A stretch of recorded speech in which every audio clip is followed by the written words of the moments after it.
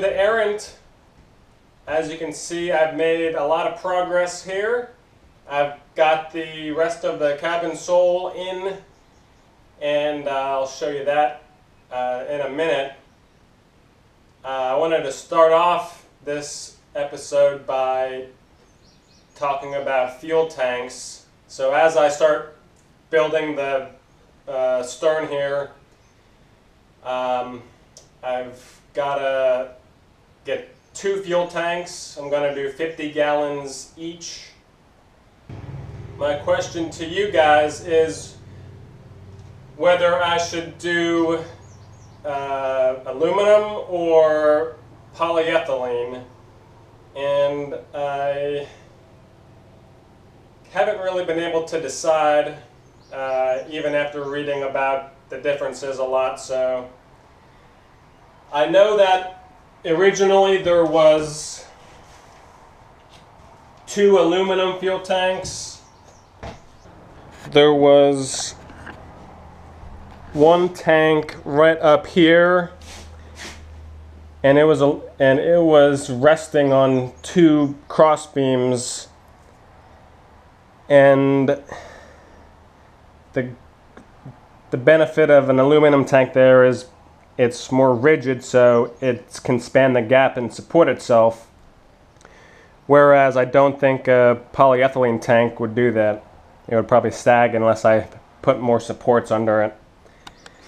And then I want to do a second tank on the uh, starboard side here.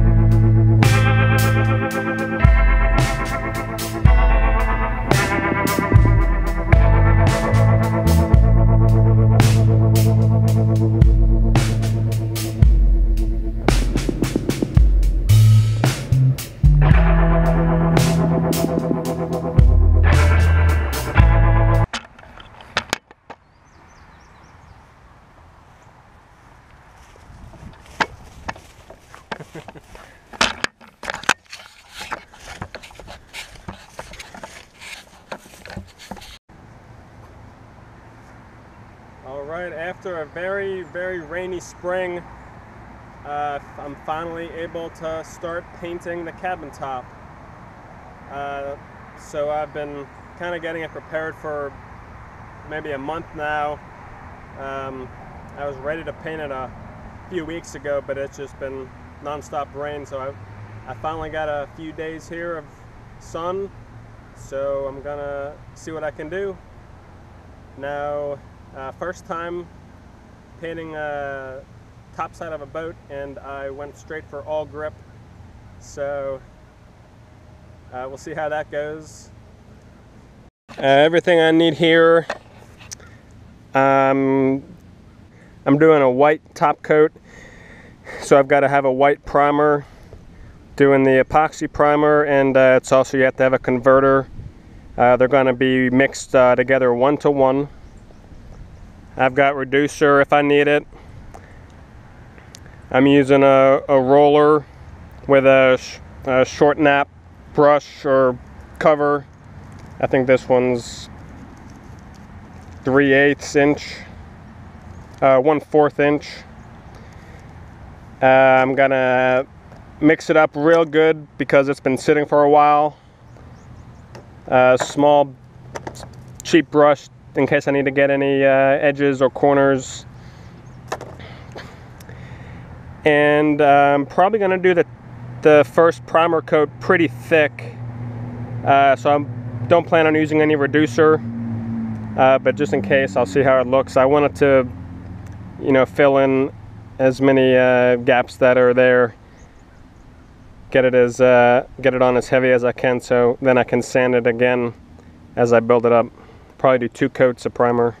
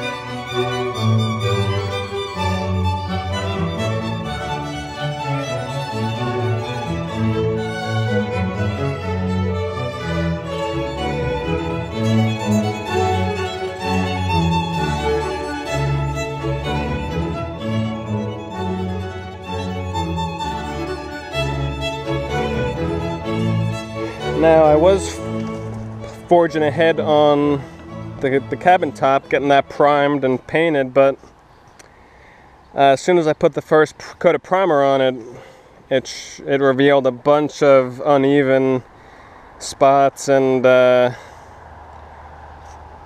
it was not as smooth as I thought, which I could not see when it was just fiberglass, so I had to delay that to go back and sand it some more. And then I realized that I I'm probably gonna want to get some high build primer